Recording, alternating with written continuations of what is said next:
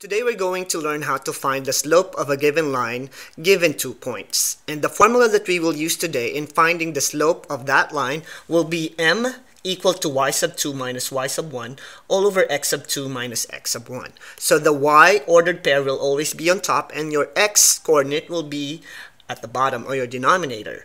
Now let's use the formula in finding the slope of our example number one. So for the first example, we need to find the slope of the line given two points. The first point is P, which is 3, 7, and the second point is Q, which is 2, 3. In finding the slope of this particular line given two points using the formula y sub 2 minus y sub 1 all over x sub 2 minus x sub 1, your first step is to label each of your ordered pair. So for our point P, we have pairs of 3 and 7. So our x will be 3 and y will be 7. So since this is our first set of points, so we'll have x sub 1 for 3 and y sub 1 for 7. And for q, which is 2 and 3, our second set for x will be x sub 2, which is equal to 2, and y sub 2 equal to 3. So after you have labeled your points using its ordered pair, we'll be able to use the formula in finding the slope of this line. So m is equal to y sub 2 minus y sub 1 all over x sub 2 minus x sub 1. By direct substitution, y sub 2, which is 3, minus y sub 1, which is 7, all over x sub 2, which is 2, minus x sub 1, which is 3. So we'll have 3 minus 7 all over 2 minus 3. And by simplifying your expression, the numerator will be 3 minus 7, which gives you negative 4, and 2 minus 3 will give you negative 1. And by simplifying your fraction, you'll have 4 or positive 4 as your answer because two negatives makes a positive. So the slope of this line given two points, point P and point Q, is equal to 4.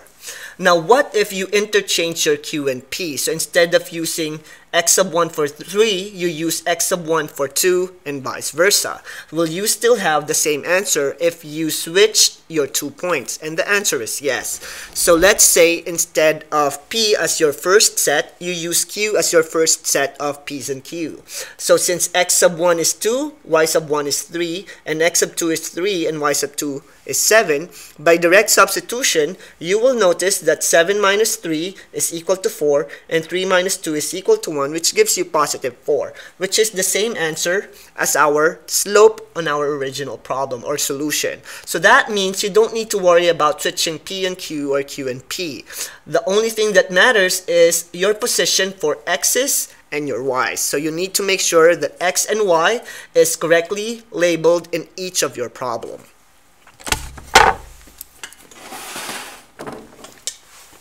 Now for example number two, let's find the slope of a line passing through points 7 and negative 3 and negative 8 and 1. So we have another two points and we're going to compute or solve for the slope using its formula. So the first set of points we have 7 and negative 3. So x sub 1 is 7 and y sub 1 is negative 3. And for our second set, we'll have negative 8 as our x sub 2 and 1 as our y sub 2. So using the slope formula, by direct substitution and after labeling your points, we'll have 1 minus negative 3 all over negative 8 minus 7.